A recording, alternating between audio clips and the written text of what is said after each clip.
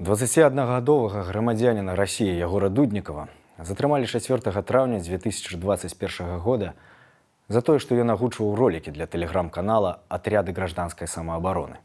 Ягору неаднаразова абяцалі дэпартацыю замест рэальнага тэрміну за супрацу са следствам, але у выніку асудзілі на 11 гадоў узмоцненага рэжыму. На днях стала вядома, што ягора пераводзяць на тры гады ў турму.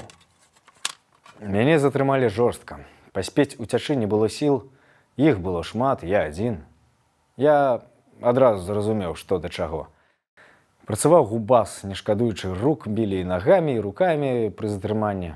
Крычалі мразь дабегаўся! У мяне ўсё ў вачах пацямнела. Наступствамі затрымання сталі сінякі і расколаты зуб.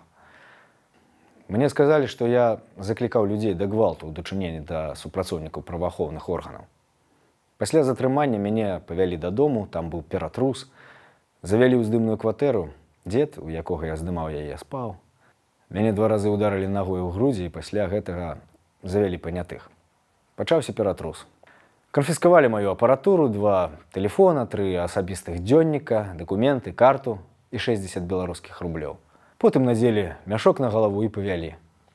Я быў у паніцы, мяне падванітоўвала але пры гэтым істэрыкі не было.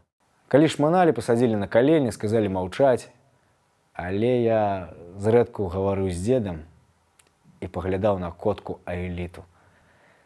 Я разумеў, што магчыма яе больш не ўбачу і развітваўся з ёй. Пасля ператрусу ізноў мяшок на галаву і павялі да аўтамабілю. У машыне закінулі на задняе сядзенне, рукі былі пастаянна ў кайданках, сказалі, што паедуць закопваць мяне саджаць бульбу. Так пажартаваў адзін з іх. Казалі, каб я сказаў тое, што ім трэба на камеру і тады, магчыма, мяне дэпартуюць дадому. Мяне білі, бо я віну не прызнаваў, білі жорстка. Праўда, праз ужо месяц сінякоў зусім не засталося.